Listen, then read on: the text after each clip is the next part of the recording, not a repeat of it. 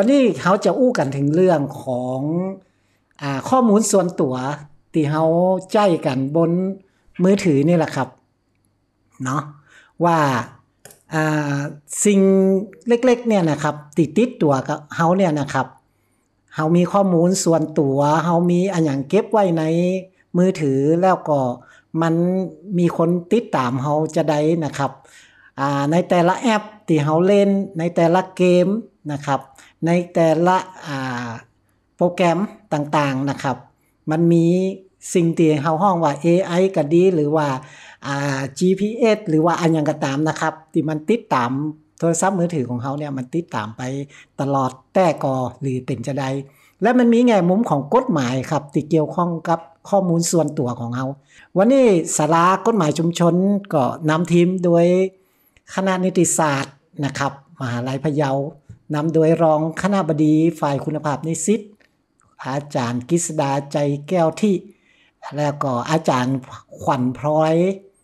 อ่าเราอาอาพร้อยขวัญครับ เราอมตะนะครับอาอาจารย์ประจำคณะ แล้วก็รวมถึงคณะที่ต้องมาอู้เรื่องนี้รวมตัวกันนะครับ ได้รับเกียรติอย่างสูงเลยครับกับคณะบดีคณะเทคโนโลยีสารสนเทศและการสื่อสารนะครับ ท่าน อาจารย์พรเทพโลจนวสุ แล้วก็อาจารย์สัญชัยหยีวิยมนะครับรองคณะบดีฝ่ายคุณภาพนิสิตนะครับ ก็ประเด็นในส่วนของเรื่องของความปลอดภัย เกี่ยวกับเรื่องของข้อมูลส่วนบุคคลช่วงนี้ก็เป็นอะไรที่เราเราจะเห็นตามข่าวหน้าหนังสือพิมพ์หรือตามข่าวทางสื่อต่างๆเนี่ยค่อนข้างเยอะนะครับ การที่ได้มาแลกเปลี่ยนกันในวันนี้ก็น่าจะเป็นประโยชน์กับประชาชนพี่น้องชาวพะเยาในในการที่จะ ดูแลปกป้องข้อมูลของตัวเองนะครับเพื่อความปลอดภัยในการใช้งานต่างๆ บนระบบเครือข่ายอินเทอร์เน็ตนะครับก็หวังว่าข้อมูลบนเนี้ยมันอาจจะไม่ใช่เฉพาะที่เป็นข้อมูลส่วนบุคคลอย่างเดียวนะครับ มันยังรวมถึงกลโกงต่างๆ ที่ที่มิจฉาชีพอาจจะแฝงมาในรูปแบบอาของเครือข่ายออนไลน์ต่าง ๆ พวกนี้ครับ จริงๆ เวลาเราพูดถึงเรื่องข้อมูลส่วนบุคคลเนี่ยค่ะข้อสงสัยส่วนมากที่มันจะเกิดขึ้นเนี่ยมันจะเกิดขึ้นจากทางทางเทคนิคมากกว่าว่าเขาทำได้ยังไงเขาเก็บได้ยังไงเขาดักข้อมูลไปได้ยังไงอะไรเงี้ยหรือเขาได้ข้อมูลไปแบบไหน อ่าในทางกฎหมายเนี่ยมันมีมาตรการในเรื่องของการป้องกันอยู่แล้ว แต่อย่างที่ท่านท่านคณะบดีบอกนะว่าว่าเรากฎหมายเราถูกเบรกมาหลายปีแล้วจริง ๆ จริง ๆ ถูกเบรกมาสองปี แต่ว่าพัฒนาตัวกฎหมายมา 20 กว่าปีนะคะ เราพยายามจะเราพยายามจะออกกฎหมายเนี้ยมามาตั้งแต่ปี 40 ละ แต่ว่าออก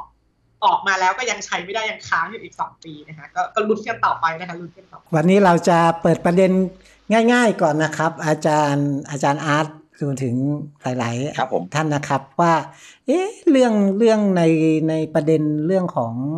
ความเป็นส่วนตัวข้อมูลส่วนตัวในมือถือก็ดีในอ่าในอินเทอร์เน็ตก็ดีเนี่ยนะครับ ทุกวันนี้มันมีอะไรบ้างครับที่มันมาติดตามเรานะครับ แล้วก็มันมีผลกระทบกับเราแบบแบบแบบทำให้เราทั้งเสียหายแล้วก็อาจจะ บางทีก็อาจจะมีประโยชน์นะครับ ในแง่ของการการใช้เครื่องมือพวกนี้ด้วย เอาจากประสบการณ์ของแต่ละท่านเลยครับ ก็ก่อนจะไปถึงจุดนั้นก็ขออนุญาตเล่าเป็นพื้นพื้นพื้นก่อนนิดนึงนะครับครับว่าคำว่าข้อมูลส่วนบุคคลเนี่ยมันมันมีที่ไปที่มากันเป็นอย่างไรครับนะครับ จริง ๆแล้วเราเราพูดประเด็นของข้อมูลส่วนบุคคลเนี่ยมานานแล้วนะครับ แต่ว่ายังไม่ค่อยได้รับความสนใจอย่างจริงจัง ข้อมูลส่วนบุคคลเนี่ยมันมันมันคืออะไรอะนะครับ ในในนิยามของ ของทั่วไปทางด้านคอมพิวเตอร์ก็จะเป็นทางด้านข้อมูลที่เราสามารถระบุตัวตนได้ เอาอย่างเงี้ยนะครับ อะไรบ้างกับชื่อนามสกุลที่อยู่อีมงอีเมลนะครับหนักไปวันนั้นข้อมูลที่เซนซิทีฟนะครับ เดี๋ยวอาจารย์นัทอาจจะมาขยายความตรงข้อมูลเซนซิทีฟนิดนึงพวกข้อมูลเรื่อง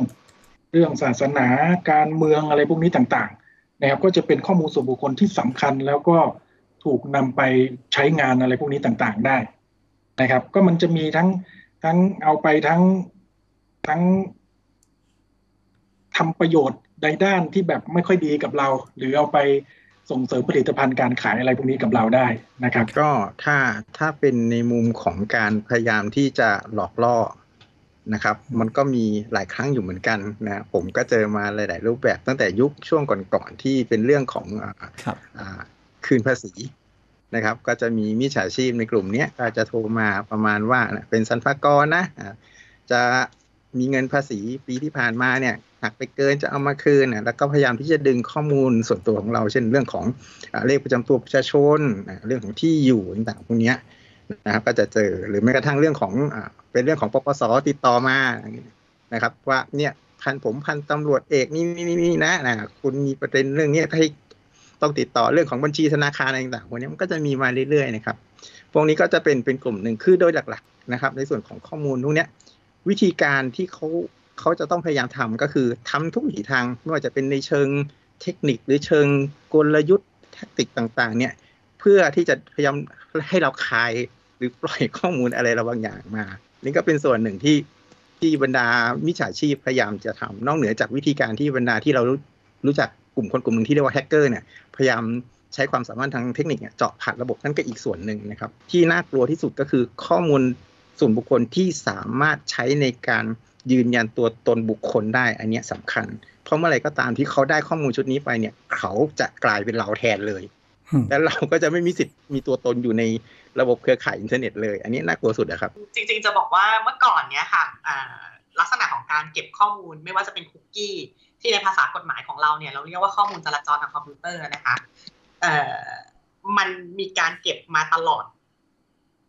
เท่าที่ประวัติศาสตร์ของอินเทอร์เน็ตมันมีมาเลย จนกระทั่งจนถึงทุกวันนี้ครับนะคะเอ่อไม่เคยมีใครเดือดร้อนนะคะ มาเดือดร้อนกันเอาช่วงหลังๆเนี้ยนะคะ ช่วงที่เราเริ่มสังเกตเห็นว่า Facebook เนี่ยมันเอ่อรู้จะรู้จักเรามากเกินไปละอะไรอย่างเงี้ยค่ะ หรือว่าเวลาเราเราเราใช้บริการอะไรเงี้ยรู้สึกว่า ตัวตนบนโลกออนไลน์ของเราเนี่ยเริ่มส่งผลต่อการต่อการใช้ในชีวิตประจำวันของเราละทีนี้จะบอกว่าไอไอสิ่งที่เรากลัวเนี่ยค่ะไม่ไม่ได้เป็นสิ่งที่ทุกคนหรือนักกฎหมายในฝั่งตะวันตกเขานิ่งนอนใจนะคะในประเทศอเมริกาเนี่ยก็มีการฟ้องร้องในเรื่องของการล้วงข้อมูลส่วนบุคคลเนี่ยจาก ต้องอาจจะต้องพูดตรงนี้เลยก็ได้ว่าจากมาร์คซักเคอร์เบิร์กเนี่ยอย่างรุนแรงเลยนะคะไม่รู้จะโดนฟ้องหรือเปล่าแต่แต่มันเป็นคดีความจริง ๆนะคะ แล้วก็แล้วก็มีความพยายามจะจะจะบีบให้มาร์คพูดให้ได้นะคะ ว่าตกลงแล้ว Facebook เนี่ยล้วงข้อมูลอยู่ที่ระดับไหนนะคะซึ่งมันก็เป็นข้อมูลความลับที่ยังไงเขาก็ไม่ยอมเปิดเผยเนาะอันนี้เราก็ไม่อาจก้าวล่วงได้แล้วกันนะคะแล้วก็แต่แต่แต่แต่สิ่งสำคัญที่สุดเลยอะค่ะ คือ มันมีความพยายามที่นักกฎหมายทั่วโลกเนี่ยค่ะพยายามจะสร้างมาตรฐานของการเก็บข้อมูลเนี่ย อยู่อย่างมาก ๆ เพราะว่าเรารู้ว่าข้อมูลของเรามันมีค่าทางธุรกิจ เรื่องนี้อาจารย์กฤษดาเห็นแพมออกมาว่ามันมีกฎหมายเรื่องเพราะหรือว่ากฎหมายที่ที่ว่าสองปีอะไรเงี้ย ผมก็เพิ่งรู้เหมือนกันว่า แต่ผมก็ตามเรื่องกฎหมายอื่นนะครับ เรื่องเรื่องของการแฮกการอะไรมากกว่า เรื่องพรบคอมพิวเตอร์อะไร จริงๆแล้วพรบนี้ชื่อว่าพรบคุ้มครองข้อมูลส่วนบุคคลนะครับปี 60 นะฮะจริง ๆ ก็อย่างที่บอกครับว่าไอ้62 นะครับ ออกมาแล้วเนี่ยพยายามจะเอามาใช้เลยแต่ด้วยความที่ว่ามันต้องเตรียมการค่อนข้างจะเยอะครับ ก็เลยมีการค่อยๆเลื่อนครับค่อย ๆเลื่อน อันเนี้ยตอนเนี้ยมีบอกว่าเนี่ยโอเคเนี่ยเดือนเดือนพฤษภาปลายปลายปลายเดือนพฤษภาปีหน้าเนี่ย เราจะใช้อย่างจริงจังแล้วแต่ก็ไม่รู้ว่าจะเลื่อนอีกหรือเปล่านะครับสำหรับพรบเนี่ยอย่างที่บอกครับมุ่งเน้นคุ้มครองข้อมูลส่วนบุคคล นะฮะจริงๆแล้วข้อมูลส่วนบุคคลถ้าหากพูดในเชิงกฎหมายจะมีอยู่สองอันนะครับอันแรกเหมือนที่ท่านอาจารย์ธนบดีได้พูดไปแล้วนะครับ ก็คือข้อมูลที่ใช้ในการ identify ตัวบุคคลครับว่าข้อมูลแบบนี้ออกมาปุ๊บเนี่ยระบุบุคคลได้เลย กับอีกอันหนึ่งเราเรียกว่าเป็นข้อมูลสำหรับข้อมูลเฉพาะตัวของคนคนนั้น เช่น พวกประวัติต่าง ๆ พวกนี้นะฮะแต่ถามว่าพรบเนี่ยคุ้มครองอะไรก็คือพรบมีคุ้มครองข้อมูลที่มันใช้ชี้เฉพาะเจาะจงตัวบุคคลนะครับเขา คุ้มครองอะไรบ้าง จริงๆอะเขาป้องกันการที่บุคคลเนี่ยหนึ่งจะเก็บห้ามนะครับห้ามบุคคลใดก็ตามเก็บรวบรวมข้อมูล อันที่สองห้ามเอาข้อมูลที่เก็บเนี่ยไปใช้นะครับ อันที่สามเก็บรวบรวมแล้วเนี่ยห้ามเอาไปเปิดเผยอ่าเผยแพร่ต่อ จริงๆจะห้ามอยู่สามอันนะครับ แต่ยกเว้นได้รับการอนุญาต อันนี้แหละครับก็เลยเป็นเหตุผลว่าทำไมเวลาเราเข้าเว็บไซต์ปุ๊บก็มีการเด้งขึ้นมาถาม ท่านยินยอมให้เก็บไหมก็ เหมือนที่พี่ชัยวัฒน์นะครับ กดไปดังนั้นก็ยอมรับเรียบร้อยว่าให้เขาใช้เก็บรวบรวมได้ ให้เขาใช้ได้ ให้เขาเอาไปเปิดเผยได้ แต่มันจะมีข้อยกเว้นนิดหนึ่งบางอย่างเนี่ยที่ที่ห้ามเก็บรวบรวมเลยก็อย่างความคิดเห็นทางด้านการเมืองเผ่าพันธุ์ลัทธิความเชื่อพฤติกรรมทางเพศอะไรประมาณเนี้ยครับนะฮะพวกพฤติเอ่อความพิการอะไรพวกนี้อันนี้จะเป็นข้อยกเว้นที่ห้ามเก็บรวบรวมครับผมครับฮะคือจริงๆอะตรงนี้ไม่ค่อยมีปัญหาแล้วครับพี่ชัยวัฒน์ครับปัญหามันจะเกิดขึ้นตรงที่ เราเองชอบเอาข้อมูลส่วนบุคคลของเรา ไปโพสต์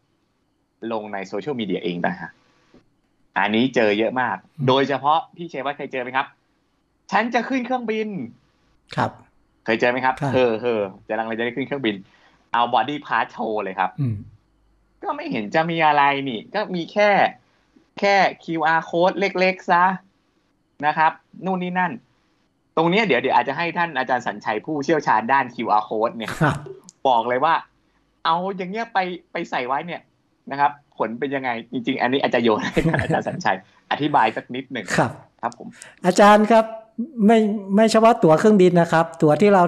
ฉีดวัคซีนก็อาจจะมีปัญหาด้วยใช่ไหมครับ QR code ใช่อาจารย์สัญชัยอธิบายเรื่องนี้ให้ชัดเจนหนะครับ เรื่อง QR code ส่วนบุคคลของเรา QR code เนี่ย เป็นอะไรที่แบบต้องบอกว่าพลิกพลิกโฉมเลยในการเก็บข้อมูลจะไม่ได้มีแค่ตัวเลขอะทั้งครับตัวอักษรตัวอักขระอะไรเนี่ย เก็บได้เป็นเป็นร้อยร้อยพันพันตัวอักษร เพราะฉะนั้นไอ้ส่วนของข้อมูลต่างๆอะที่อย่างเช่นที่อาจันอาร์ตบอกเมื่อกี้ในยเรื่องของข้อมูลเกี่ยวเรื่องของการเดินทางของบุคคลบุคคลหนึ่งว่าเป็นใครเดินทางจากไหนไปไหนเนี่ยมันถูกยัดลงไปใน QR code ทั้งหมดทั้งมวลได้ หรือแม้แต่กระทั่งเรื่องของเรื่องที่เราไปฉีดวัคซีนเนี่ยเราเป็นใครเลขประจำตัวประชาชนอะไรเราไปฉีด วัคซีนอะไรมาเข็มหนึ่งเข็มสองถูกยัดตรงนี้ทั้งหมดนะครับครับมันก็เลยเป็นอะไรที่ค่อนข้างน่ากลัวนะครับสำหรับ QR code อะซึ่งข้อมูลเนี่ยเราคือเราเองเราอาจจะคิดไม่ถึงว่าเฮ้ยมันสามารถเอาอะไรยัดใส่เข้าไปในขนาดนั้นได้เลยหรือนะครับ แต่ปัจจุบันมันเป็นอย่างนั้นแล้วจริง ๆ นะครับ เพราะฉะนั้นเรื่องพวกนี้ก็ไม่ควรที่จะเผยแพร่ หรือถ้าจำเป็นจะเผยแพร่ก็อาจจะต้อง หาอะไรมาปิดหรือมาขีดบางส่วนของ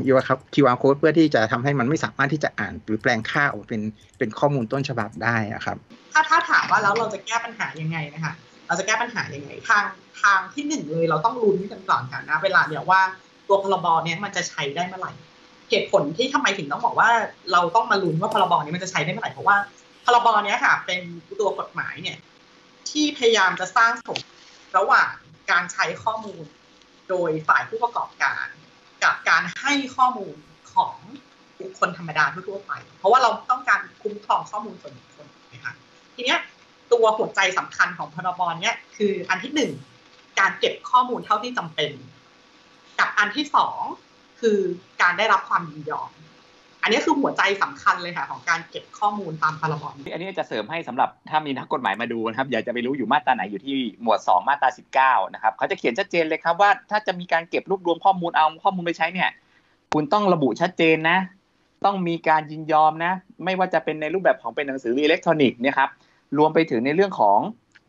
จะต้องแยกส่วนกันเหมือนที่ท่านอาจารย์พลอยขวัญได้พูดก็คือต้องแยกส่วนกันนะ ไม่ใช่ว่าพอไม่ยินยอมปุ๊บจะใช้ไม่ได้เลยต้องแยกส่วนกัน รวมไปถึง ต้องใช้ภาษาที่ง่าย ถ้าจะเป็นลักษณะนี้ครับ ต้องใช้ภาษาที่ง่าย แต่เขาจะไปวางไว้ไหนครับพี่ชัยวัฒน์ไอ้ตรงนี้เนี่ยเขาจะไปวางไว้ตรงค่อนท้ายๆก็คือ ถ้านั่งอ่านในเรื่องของ end user agreement เนะครับครับ อ่านจนเมื่อยตาเกินแปดบรรทัดแน่นอนเนี่ยครับ ก็ต้องไล่อ่านไปเลยนะครับสามสิบกว่าหน้าเนี่ยครับ อันนี้อันนี้ก็คือเป็นเทคนิคของเขานะครับ ดังนั้นก็ก็ไม่แปลกครับว่าจริงๆอะมันก็กลายเป็นว่าเราอะ ไปให้ความยินยอมในเรื่องของของการใช้งานตรงนี้ไปแล้วครับส่วนหนึ่งครับผมน่าสนใจครับน่าจะต่อเวลาคุยกันได้อีก แต่ว่าเอาวันนี้เอาแน่นอนที่สุดว่าเรื่องการถูกล้วงข้อมูลส่วนตัว เรื่องกฎหมายข้อมูลส่วนตัวเนี่ยส่วนบุคคลเนี่ยก็น่าสนใจพอสมควรแล้วก็น่าจะต้องขยายแล้วก็อ่าสร้างการรับรู้นะครับ ให้กับพี่น้องของเราอย่างต่อเนื่องนะครับ เพราะผมคิดว่า พัฒนาการของของผู้ร้ายกับคนที่ตามจับเนี่ยมันก็มันก็ต้องมีอย่างต่อเนื่องแอปพลิเคชันต่าง ๆ เดี๋ยวนี้มันก็แพรวๆขึ้นมาเยอะอุปกรณ์ต่างๆ มันก็ก็แทบจะเปลี่ยนทุกวันเลยนะครับ ขอบคุณอาจารย์อาจารย์กฤษดานะครับ อาจารย์กฤษดาจากคณะนิตินะครับแล้วก็อาจารย์พลอยขวัญนะครับ จากคณะนิติเหมือนกันนะครับ แล้วก็อาจารย์สัญชัยนะครับ จากคณะเทคโนโลยีสารสนเทศ ICT นะครับของมหาลัยพะเยา แล้วก็เป็นเกียรติอย่างยิ่งครับ กับคณะบดีวันนี้มาเองเลยครับ อาจารย์พรเทพโรจนะวสุครับ ก็ยังไงคงต้องได้คุยกันต่อนะครับ เพราะว่าผมเองก็เริ่มไม่ปลอดภัยแล้ว เริ่มเห็นว่าตั้งแต่คุยกันมาเนี่ยมีอะไรหลายอย่างที่ที่น่าจะ